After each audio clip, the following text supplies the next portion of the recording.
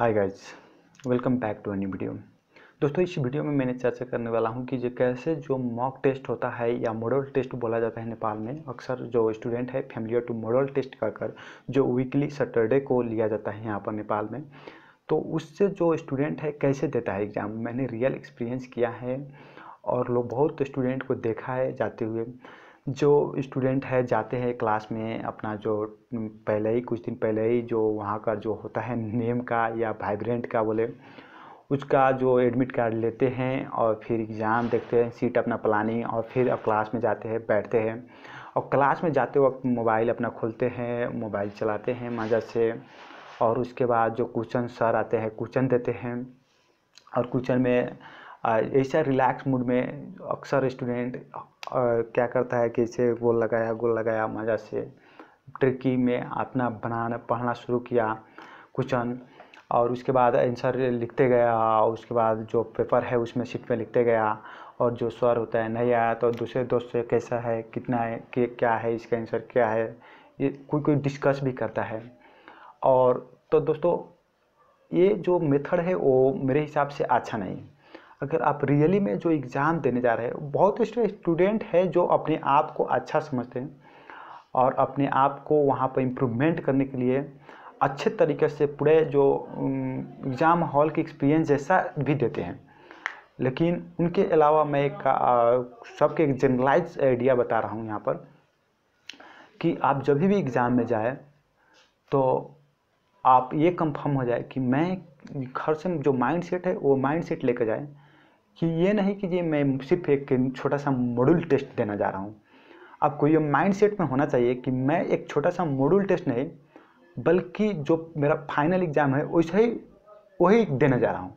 जब ऐसा आप सोचोगे ना तो जाओगे तो कहने मतलब आपको रियल एक्सपीरियंस जैसा होगा।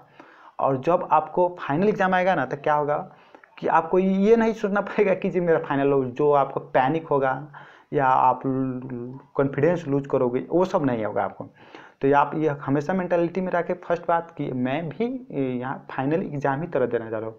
और थोड़ा हो सके तो आप थोड़ा घर से एटलीस्ट फिफ्टीन मिनट पहले वहाँ पर रीच करने की कोशिश करें और वहाँ पर फिफ्टीन मिनट पहले रीच करें।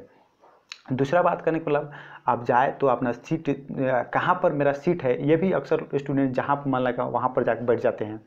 कहाँ पर मेरा सीट है, कौन सी रूम में सीट है, कौन सी बिल्डिंग में है, वो कंफर्म करे। उसके बाद वहाँ पर जाकर बैठे। वही सीट मतलब सीट तो वहाँ पर फिक्स नहीं होता है कि कौन सी सीट है आपकी। लेकिन कौन सी रूम है आपकी, उस रूम में जाकर बैठे। ये ये भी आपको एक रियल एक्सपीरियंस दे रहा है कि जबकि आपकी जो नंबर होगा, वहाँ पर लिस्ट में जो रियल एग्जामिनेशन होता है, वहाँ पर आप जाकर खोजेंगे तो वहाँ पर भी आपको जो एक, क्या होता है नर्वसनेस कि अब खोजना है, कहाँ मिलेगा, कहाँ नहीं मिलेगा तो वो भी आपको नहीं होगा और आप अपने यह हैबिट अभी से डेवलप कर सकते हो। तीसरे बात में कहा जाए तो जब भी भी आप जाकर बैठें और जब भी भी आपको क्वेश्चन मिले तो आपको कैसे डेवलप करना है? रियल एग्जामिनेशन जैसा ही हैबिट डेवलप करना है। जैसे कि माजा से बैठिए एग्ज़ाम आया क्वेश्चन आया तो आपको उसमें अपना सब कुछ रियल ये सोचिए कि जो आंसर सीट है, वो मुझे फिर से नहीं मिलने वाला है। जो उसी पर मुझे करना है तो सब कॉन्फिडेंस साथ जो भी है केयरफुली अपना फिलअप कीजिए सब चीज़ें। और उसके बाद अपना जो सोल्यूशन करना कोशिश कीजिए। तो सोल्यूशन करते वक्त कि आप जैसे कि ये ये भी देखिए, ये भी पैटर्न फिक्स करना है आपको कि मैं जो फाइनल एग्ज़ाम होने वाला है, उसमें मैं कौन सी पहले सब्जेक्ट की है टॉपिक उसे सॉल्व करने वाला हूँ। तो उसी हिसाब से ये भी जो एग्ज़ाम एग्ज़ाम्स हो रहा है, उसमें भी आप वही पैटर्न अपनाइए कि पहले मैं मैथ सॉरी फिजिक्स सॉल्व करने वाला हूँ तो फिजिक्स से आप पहले पेपर टर्न कीजिए। ये ना कि बायोलॉजी फ़र्स्ट में दिया है तो मैं बायोलॉजी सॉल्व करूँ। आपकी कौन सी स्ट्रॉन्गेस्ट पॉइंट है पार्ट है तो उसे सब्जेक्ट को, वो सब्जेक्ट को आप टर्न ओवर कीजिए, पहले उसे सॉल्व कीजिए और उसके बाद आपको दूसरा में कौन से में जाना है तो उसे सॉल्व कीजिए, तीसरा में कौन से जाना है, और अगर ये बात करें मेंटल एजिबिलिटी है, उसे तो मैं सजेस्ट करूँगा रिकमेंड करूँगा कि आप हमेशा उसे लास्ट में किया कीजिए। क्योंकि उसका क्वेश्चन थोड़ा मैं ये दावे के साथ कह सकता हूँ, कोई भी स्टूडेंट मेंटल एजिलिटी टेस्ट का प्रिपेयर नहीं अच्छा से किया होगा और एक अपने, चलो देखा जाएगा जो होगा जो होगा उसी एग्ज़ाम में। तो इसीलिए मैं उसे रिकमेंड करूँगा कि जो उसे लास्ट में कीजिए। और मैं ये कहूँगा कि अपना एग्ज़ाम जब भी दे एक रियल टाइम एक रियल एक्सपीरियंस एक रियल एक्सेप्टेशंस एक रियल होप एक रियल मार्क इंक्रीमेंट करने के हिसाब से दीजिए और आपको एक अच्छा फ्यूचर में ये आपको पैनिक होने से कॉन्फिडेंस लूज करने से बचा सकता है।